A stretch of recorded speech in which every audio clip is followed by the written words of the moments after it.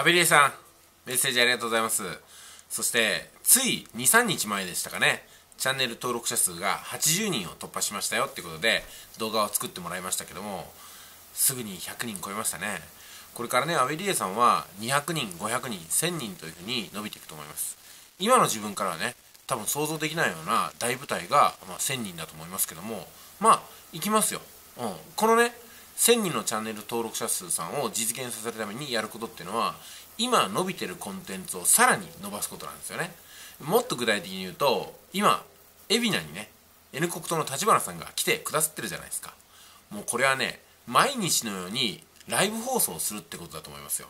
ライブ放送が無理だったら動画放送して立花さんとねぶっ壊すとかね。あと、なんか、即化塾をぶっ壊すって言っても面白いかもしれないですね。こういった形でどんどん乗っかっていくことなんですよ。乗っかっていくことにプラス加えて、本心から海老名がそうなればいいな、立花さんに来てほしいなっていう気持ちが、あこう、安倍理恵さんにね、りっちゃんにあると思うんですよね。だからこれやらせでも何でもなく乗っかってるんで最高なんですよ。私が ADA とか暗号通貨の放送によって、多くの視聴者さんを獲得した時も私心からね ADA が素晴らしいと思ってるんですいまだに素晴らしいと思ってます。だから自分がね無理やりチャンネル登録者数を増やすためにやってるわけでもないのにまあたくさんの方が増えていただいたと。そして私自分が演じてるところがないんで今でも同じようなメッセージを伝えることができるんですよね。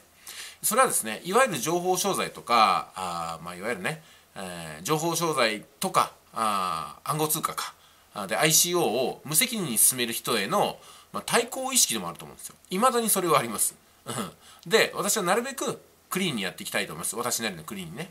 で、そこには演技もインチキもズルも嘘もなく、なるべく正直にやっていきたいと思うんですよね。そして気持ちが変わったら変わったってことも報告していって、以前はこう考えていたけども、今はこうなんですよってことをね、えー、折に触れて伝えていきたいなっていうところがあるわけなんですよね。えー、まあね、私も何を隠そうね、山本太郎さんの令和新選組っていうのが、出てきた時にすごいなと思って、まあ、寄付もさせてもらったんですよね。その寄付の動画も上げましたけどもあの時からネットでのこういうふうなね、えー、選挙活動とか政治活動ってものに非常にね、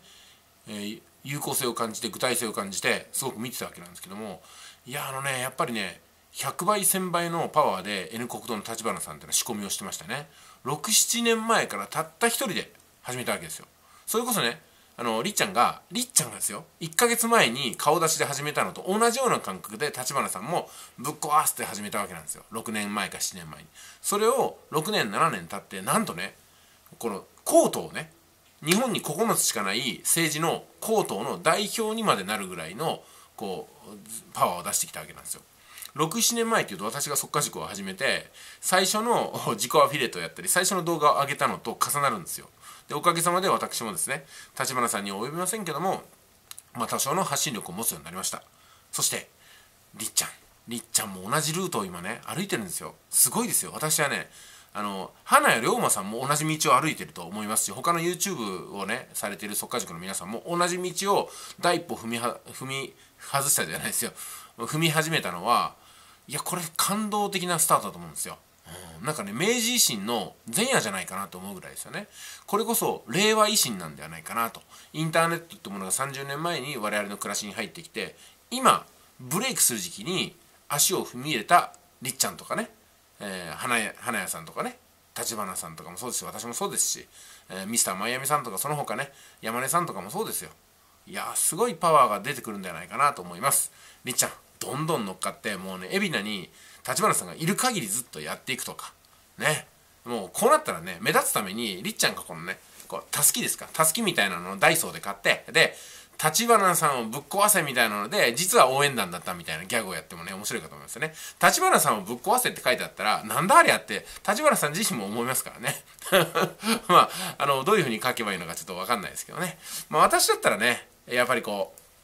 宇宙戦艦ヤマトのコスプレをして行くとかね、トラさんの格好で行くとかやると思いますよね。特にトラさんの格好で行くのはね、面白いなと思うんですよ。あのー、なんですか、増田の内閣のマスーさんっていうのが、九州比例代表で、えー、まあ、N 国党のね、公認を得て、で、今はもう辞められましたけども、ああいう印象もあるんで、結構なね、危なさを醸し出すんじゃないかなと思いますけどね。まあ何にしても、この波に乗ることだと思います。このビッグウェーブに乗ることだと思います。りっちゃん、頑張ってください。で、今やってることが最高に楽しい。自分が一番楽しい。それをやっているのが一番いいんですよ。すごいことだと思います。まあお子さんも巻き込んでね旦那さんも巻き込んで家族でわっしょいやってみたらいいんじゃないでしょうか。きっと一生思い出に残る。そんな1週間になると思います。それでは失礼します。